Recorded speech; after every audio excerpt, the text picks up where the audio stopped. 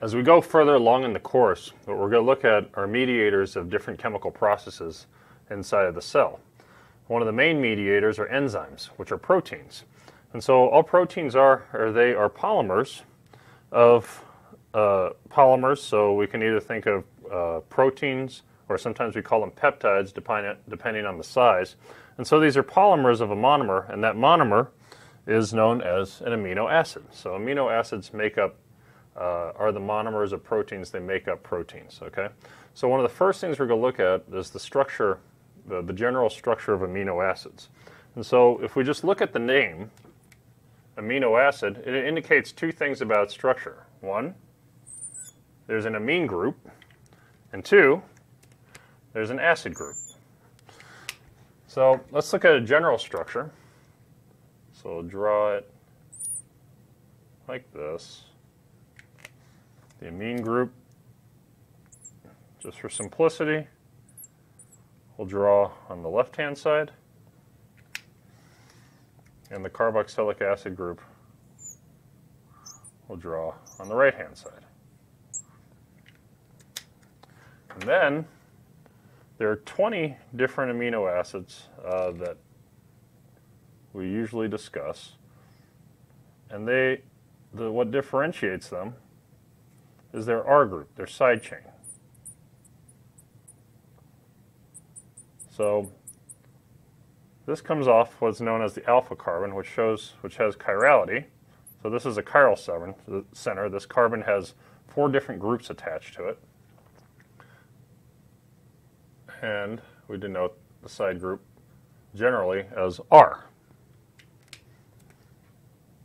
And so we denote the, the uh, again, coming from organic, we denote the stereochemistry. We use this wedge to indicate that this bond is coming out of the plane, of the board in this case. And then we have dash lines to indicate the fourth atom that's connected, and that's a hydrogen. Okay? So, we call this an alpha amine.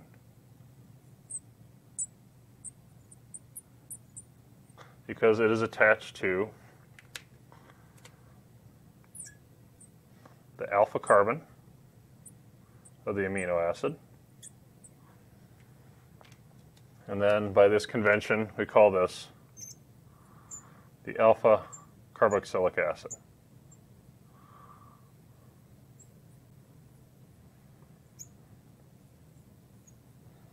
Okay? Now, we want to look at the pKa's of this. So the pK of the alpha amine for the 20 canonical amino acids ranges from 8.72 to 10.7. Whereas the pK for the carboxylic acid group, uh, for, again, for the 20 canonical amino acids, ranges from 1.8 to 2.35. Okay? So what that means is that the protonation states of these two groups is going to be dependent on the pH of the surrounding environment. Now, physiological pH tends to occur at pH 7.3.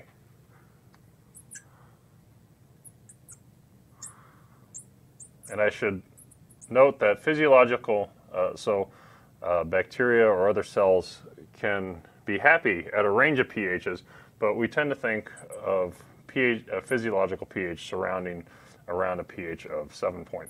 So we'll use that as our standard for this class, although uh, be aware that um, organisms can be happy at different pHs. Okay, so this pH of 7.3 lies in between, uh, below the pKa range for the amine and above the pKa range for the carboxylic acid.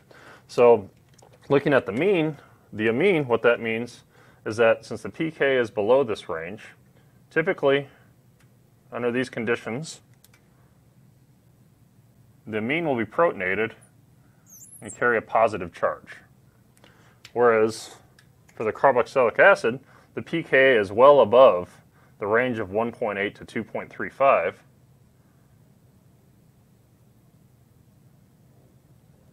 And so since this pH is above that pKa range, this is going to be deprotonated.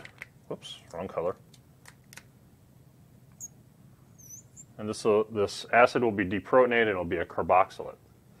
So from here, we also need to look at the stereochemistry of the alpha carbon. So we can assign, uh, again, remember uh, from, uh, from organic chemistry that we can assign uh, different stereo configurations to this carbon. And one convention that we can use is the RS